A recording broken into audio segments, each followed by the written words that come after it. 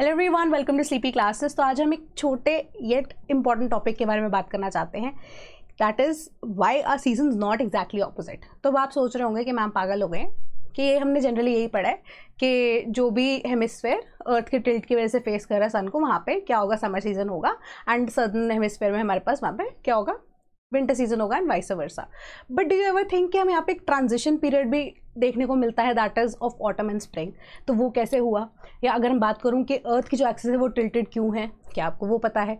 या उसके अलावा और भी बहुत सारी ऐसी टर्म्स जो कि पेपर में भी कई बार पूछी जाती हैं बट आप फिर बैठे रह जाते हो, वहाँ पे मैथ्स वाले या फिजिक्स वाले वहाँ पे नंबर ले जाते हैं। तो सिंपल शब्दों में उन चीज़ों को यहाँ पे आज समझेंगे। ठीक है, सबसे पहले बात करते हैं कि एक्चुअली में why are the season not same on the earth तो पहले यहाँ पे अर्थ के टिल्टेड एक्सिस के बारे में बात करना ज़रूरी है। दूसरी चीज़ revolution of the earth around the sun यहाँ पे डिस्कस करेंगे। वेराज तीसरी चीज़, जो कि सबको ऐसा लगता है कि होना चाहिए बट एक्चुअली में एग्जिस्ट करता है या नहीं, वो देखते हैं वीडियो के एंड में। डिस्टेंस फ्रॉम द सन क्या ये हमारे सीज़न के फॉर्मेशन में हेल्प कर रहा है या नहीं कर रहा है? एंड कर रहा है तो क्यों कर रहा है, नहीं कर रहा है तो क्यों कर रहा है? क्यों नहीं कर रहा है एक्चुअली में, वो उसको भी यहाँ पे डिस्कस करेंगे। तो सबसे पहले यहाँ पे इन्हीं चीज़ों को डिस्कस कर लेते हैं बट इन डिटेल डिस्कस करेंगे। तो अर्थ की एक्सेस जो है, अगर आप बैठेंगे, सोचते हैं या पता है तो बहुत अच्छी बात है, नहीं पता है तो कि क्यों है टिल्टेड तो माना जाता है कि around 4.5 billion years ago earth जो है, उससे पहले क्या होती थी? एक्सेस नहीं हुआ करती थी, बिल्कुल ऐसे स्ट्रेट थी। Right right? तो अब अगर आप इमेजिन करके देखिए कि अर्थ की एक्सेस अगर नहीं होती स्ट्रेट होती बिल्कुल राइट? right? तो हमारे पास जो भी साइड फेसिंग द सन है नर्दर्न हो या सदर्न हेमिस्फेयर हो, कोई तो फ़र्क नहीं रह जाता। दो, जो भी साइड फेसिंग है, वहाँ पे दिन होता और समर्स होती, राइट? समर्स एंड विंटर्स का कोई कॉन्सेप्ट ही नहीं था। तो उस टाइम पे ऐसा माना गया कि प्लानट जो, जिसका क्या नाम था? थिया वो कोलाइड कर जाता है अर्थ के साथ एंड अर्थ के ऊपर उसका परमानेंट इम्पैक्ट क्या रहता है? यही रहता है कि अर्थ की जो एक्सेस है, वो टिल्टेड हो गई है। यानी कि 23.5 डिग्री से अर्थ की जो एक्सेस है, वो टिल्ट हो जाती है। राइट? इस वजह से क्या होता है, हमारा फॉर्मेशन ऑफ़ सीजन्स होता है अर्थ के ऊपर राइट? तो अब जो वो प्लानट थिया था ना, उसकी जो बची कुची डेबरी है, वो अब मिलकर या कंबाइन करके क्या कर रही है, हमारा मून बना रही है ठीक है the only natural satellite of the earth वो क्या है वो थिया की डेबरी है, जिस वजह से हमारा मून है राइट right? पहली तो कॉन्सेप्ट हो गया हमारे पास क्लियर दूसरे कॉन्सेप्ट में हमें सोलर सिस्टम के ऊपर अगर फोकस करते हैं तो छोटे से बच्चे को भी पता होगा कि सन सेंटर में है और उसके आसपास प्लैनेट्स रिवॉल्व करते हैं। बट एक कॉन्सेप्ट आ जाता है व्हेन एलिप्टिकल ऑर्बिट की हम बात करते हैं विद रिस्पेक्ट टू एक्सेंट्रिसिटी कि एक्सेंट्रिसिटी एक्चुअली में क्या होती है? अगर आपसे पेपर में कोई पूछ ले एक्सेंट्रिसिटी क्या है? आप तो भूल जाएँगे, आप बोलेंगे, भूल भी जाएँगे क्या? कि आपको थोड़ी हड़बड़ाहट हो जाती है। बहुत सिंपल सी बात है, मैं आपको बताती हूँ। ठीक है?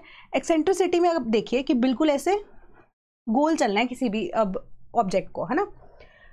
तो ये जो सर्कुलर पाथ है, अगर उसको फॉलो कर रहा है कोई भी ऑब्जेक्ट तो उसकी एक्सेंट्रिसिटी होगी ज़ीरो ठीक है?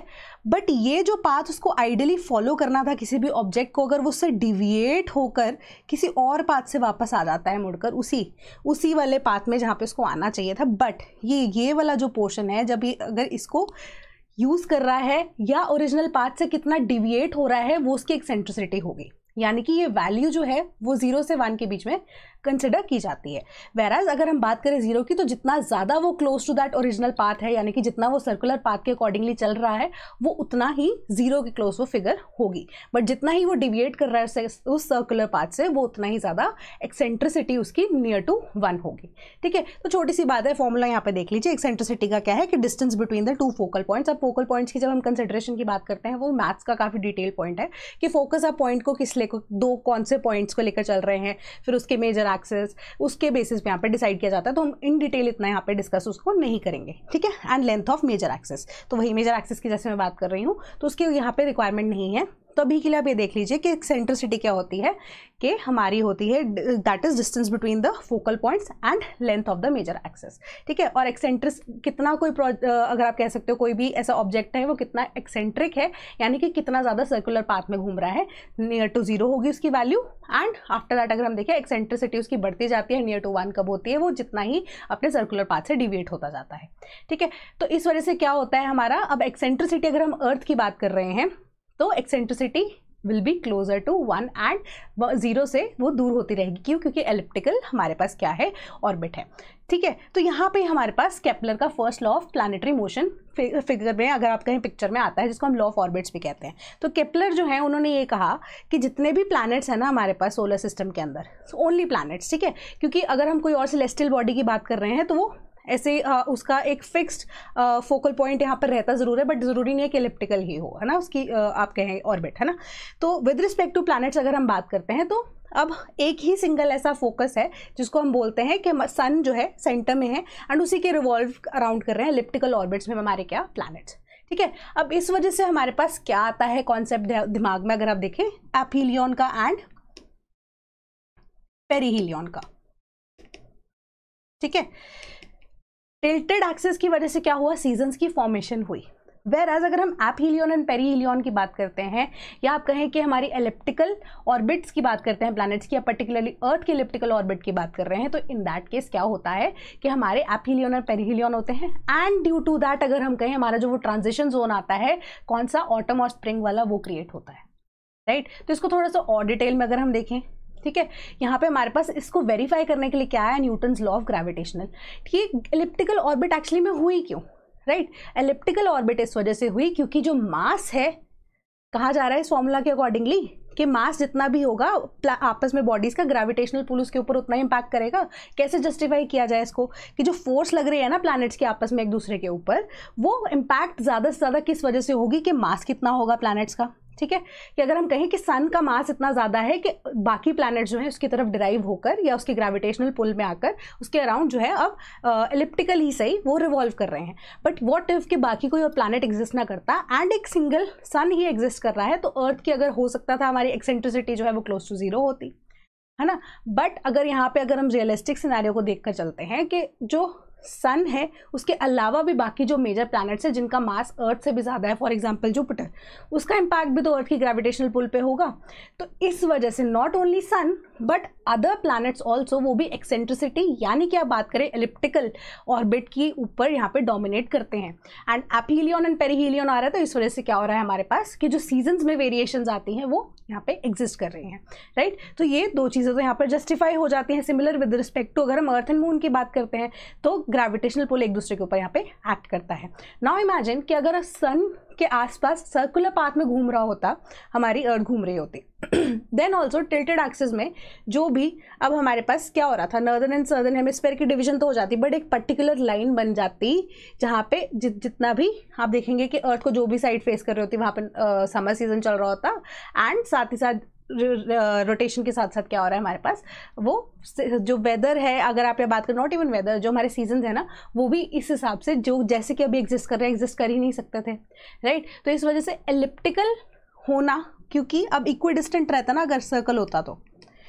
इक्वी डिस्टेंट रहता तो ऑल द वे अराउंड पूरे साल में अगर हम देखें तो हमारे जो ईयर है, उसका साइज़ कम हो जाता है, या इवन कि नंबर ऑफ़ डेज़ जो है बेसिकली अगर हम कहें, वो कम हो जाता है ना? तो सब तरफ़ से इक्वी डिस्टेंट रहता तो जो सीज़न हैं, वो फॉर्म ही ना होते, अगर टिल्ट भी ना होता, या टिल्ट कंसिडर भी कर लीजिए कि टिल्ट होता बट एक थोड़े टाइम पीरियड के लिए अगर आप देखें, एक दिन के अंदर ड्यूरिंग द डे वो हमारे पास सेम ही कॉन्सेप्ट रहता है कि इस टाइम से इतना टाइम तक अर्थ के इस इस पोर्शन में इस तरीके का हमारे पास सीज़न रहेगा, बाकी वो चेंज होता रहेगा, है ना? तो इट मीन्स कि एलिप्टिकल ऑर्बिट जो है वो भी डोमिनेट करती है आपकी किसको? सीज़न के फॉर्मेशन को। देन केपलर का फ़र्स्ट लॉ यहाँ पे हमने जस्टिफाई किया। फोकस पॉइंट की जब हम बात कर रहे हैं ना, जो हमने एक्सेंट्रिसिटी के लिए फोकस पॉइंट्स को यूज़ किया था बेसिकली हम दो फोकस पॉइंट लेकर चलते हैं but with respect to sun अगर हम देखें तो हम ये फोकस वन को ही फॉलो करेंगे। तो ऐप हीलियन एंड पेरीहिलियन का कॉन्सेप्ट जो है वो, आपको पता है कि ऐप हीलियन की सबसे डिस्टेंस जो है अर्थ का सन से सबसे ज़्यादा दूर कब होता है, ठीक है? एंड पेरीहिलियन सबसे ज़्यादा पास पी से पेरी और पी से पास तो ये वो इस तरीके से आप इसे याद कर सकते हैं। आफ्टर दैट तीसरा कॉन्सेप्ट आता था, जो मैंने कहा था कि कंटेंशियस है। ठीक है? Third law of planetary motion Kepler का यहाँ पे से जस्टिफाई कर रहा है। वो कैसे? ये अगर आप डेफिनेशन देखेंगे ना the square of time period of revolution of ये तो बहुत ज़्यादा डिटेल्ड है, आप कह सकते हो सिंपल नहीं है समझने के लिए। तो इसको सिंपल तरीके से, जिसको हम लॉ ऑफ़ पीरियड्स भी बोलते हैं, वो यही कहता है, एक सिंपल सी बात यही है कि जो भी अब ऑर्बिट है सन के अराउंड जिस भी प्लानट की ऑर्बिट सबसे ज़्यादा छोटी है, उसका टाइम पीरियड साल में, या आप कह सकते हो एक रेवोल्यूशन का पीरियड कम होगा। ठीक है फॉर एग्ज़ाम्पल अगर मर्करी सबसे क्लोजेस्ट है सन के तो उसका आप कह सकते हो कि जो रेवोल्यूशन का पीरियड है, वो भी ऑटोमेटिकली छोटा होगा। यानी कि the closest to the sun you are आपका रेवोल्यूशन पीरियड जो है, वो उतना ज़्यादा कम होगा। ठीक है, अब इससे क्या जस्टिफाई हो रहा है? माना ये जा रहा है कि अब अर्थ जो एलिप्टिकल है राइट तो वो रिवॉल्व कर रही है सन के अराउंड ठीक है तो अब उससे क्या कोई इम्पैक्ट पड़ेगा हमारे सीजन्स के ऊपर? तभी मैंने आपको ये चीज़ का क्वेश्चन पूछा था कि क्या एक्चुअली में ये चीज़ एग्जिस्ट करती भी है या नहीं। तो अगर आपको ये थर्ड क्वेश्चन या थर्ड ऑप्शन भी पेपर में दे दिया जाए तो वहाँ पे आप इसे क्रॉस करके आएँगे। क्योंकि इसका एक्चुअली में सीज़न से कोई फॉर्मेशन से लेकर कोई इम्पैक्ट नहीं रहता है। बस फ़र्क इतना का इतना ही रह जाता है कि अगर आप पेरी हीलियन एपी हीलियन या किसी भी टाइम के पीरियड को देख लीजिए, ठीक है? या अगर आप नेक्स्ट डायग्राम में देखिए स्प्रिंग एंड ऑटम की भी बात कर लें। तो डिस्टेंस का ही फ़र्क रह जाता है। डिस्टेंस से क्या होगा? सिर्फ़ जो अर्थ की तरफ़ जो रेडिएशन आ रही है सन की, वो कम हो जाएगी। यानी कि intensity of heat intensity of energy जो है, सिर्फ़ वही इम्पैक्ट होगी। एंड अगर आप कहें कि हमारे पास जो सबसे कम टाइम होता है, आप कह सकते हैं पेरी के टाइम पे जो हमारे पास डिस्टेंस है, वो one forty seven point one million kilometers रह जाता है। And one fifty two point one million kilometers जो है, वो एपीलियन के टाइम पे जो डिस्टेंस रहता है। इन दोनों के बीच में बस फ़र्क इतना है कि सेवन परसेंट हीट जो है, वो अर्थ की तरफ़ आनी कम हो जाती है। अदरवाइज़ आप कहें कि इंटेंसिटी या इंटेंसिटी के ऊपर भी अगर आप कहें तो इम्पैक्ट पड़ता है बस कि गर्मी कम हो जाती है सन की तरफ़ से आने से बट सीजन्स के फॉर्मेशन में यहाँ पे इसकी कोई भी इम्पैक्ट यहाँ पर नहीं रहता है।